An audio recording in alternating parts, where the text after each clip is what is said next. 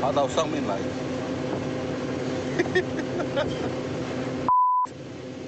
被死！没看错，红色桥面上出现一条大蟒蛇，后面就是一片海。巨蛇出没地点居然是在金门大桥。最早就是工人看到吊臂机具里出现不该出现的生物，走进一桥才发现，居然是一条大蛇。不过它所在位置距离地面有十六层楼高，巨蛇到底怎么爬上去的？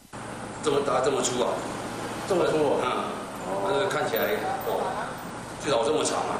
嗯，蟒蛇被绞死掉，就用那个铁丝去把它帮忙它勾，让它结果它就坠坠入海海海面上。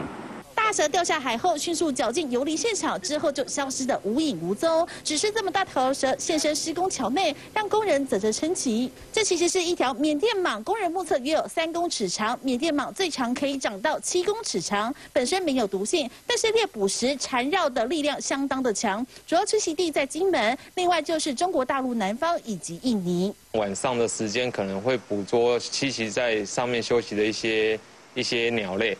土木来讲哦，它算是土地公啊，所以我们的我们对它比较比较敬畏，所以说看到它，我们就是一般是放生啊。连接金门本岛和烈屿乡的金门大桥正在加紧赶工，力拼年底完工。这位不速之客，因为体型实在惊人，也成为当地居民讨论热烈话题。三立新闻业绩好许惠美金门台的。